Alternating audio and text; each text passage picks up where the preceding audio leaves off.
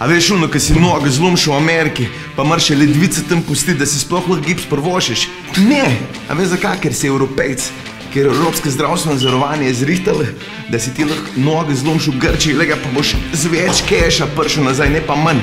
Ga noš mogo zapraviti za žuranje, ko už tam deset dni sam leže, lega. In kdo je to zrihtal? EU je to zrihtala. Jaz bom pa zrihtal, da grem letos volt, ti pa tudi pejdi, ja prav? Ajde, pejmo pobi, manj se modi.